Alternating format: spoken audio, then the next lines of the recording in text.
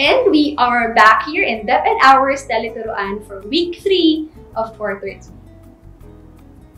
The sixth language feature of exposition is the evaluative language.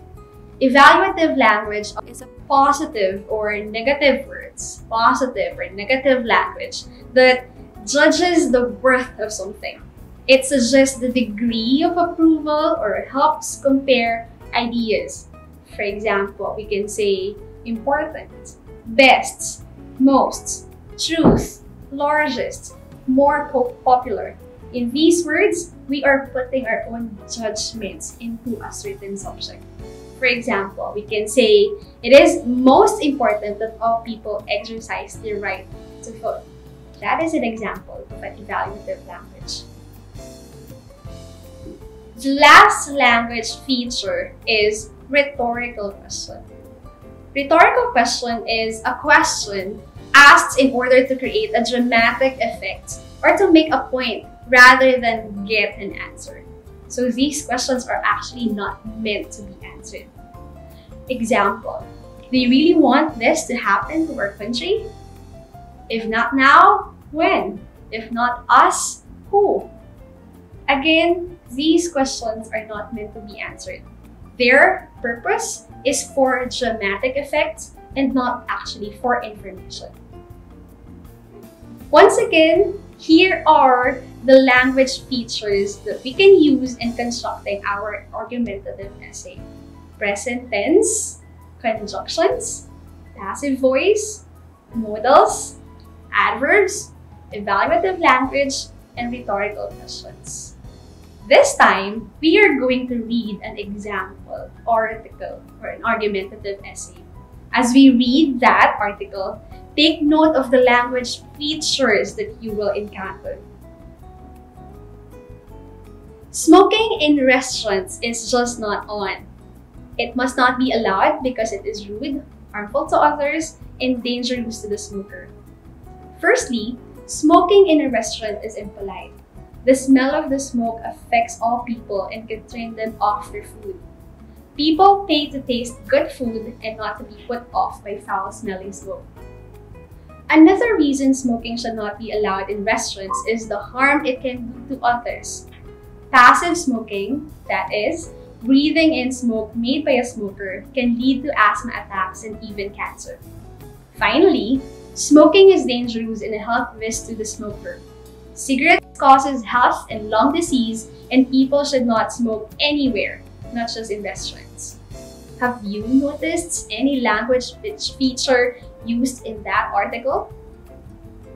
I want you to take a look at the bold-faced texts written in red. Must not be allowed, should not be allowed, can lead to asthma attacks, should not smoke anywhere. That's right. They exhibit the use of words that show the author's attitude by the use of modalities. What about the texts in blue? Let's read them. Smoke in restaurant is impolite. The smell of the smoke affects all people. People pay. Smoking is. Cigarettes cause. Can you distinguish the language feature shown there? Correct. It showcases the use of the present tense. What about the texts written in green color? Let's read them. Because Firstly, another reason. Finally, can you guess what language feature that is? That's right. The article uses words that connect ideas and reasons and arguments to one another. How about the texts written in violet? Let's read them. Good, foul, dangerous. Can you guess that language feature? That's right, they are evaluative language. Remember, the goal of an exposition or an argumentative essay is to convince your audience to believe your point of view.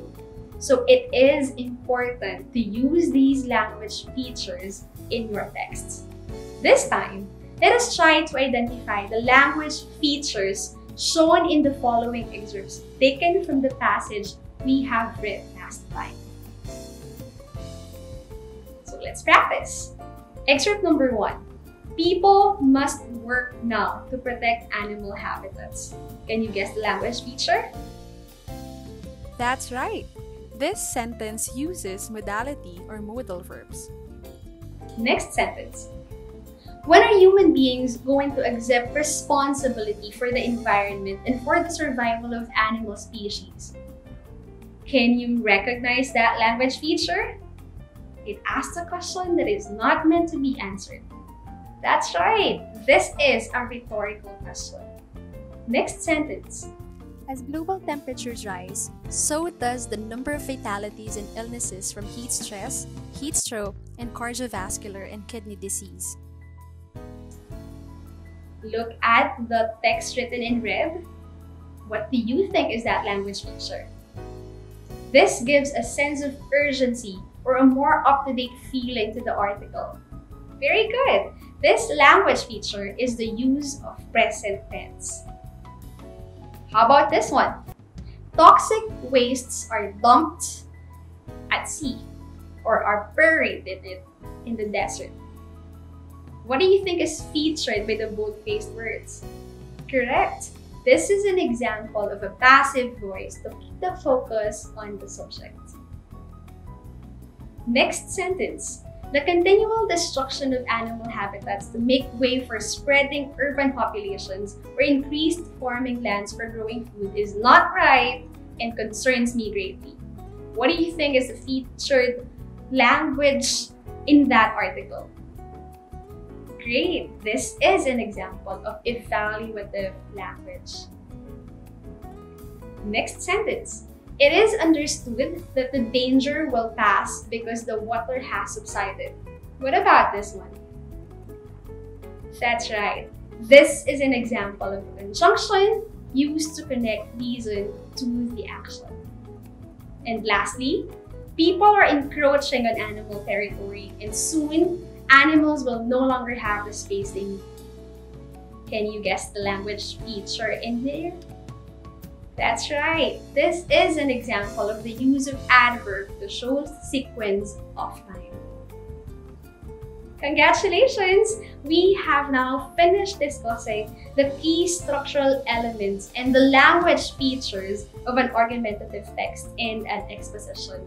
I'm hoping that the next time you encounter an exposition, you will be able to understand it better using the structure that we have discussed or when you find yourself in a situation where you need to defend your stand, you are equipped with knowledge on how to be more convincing and engaging to your audience.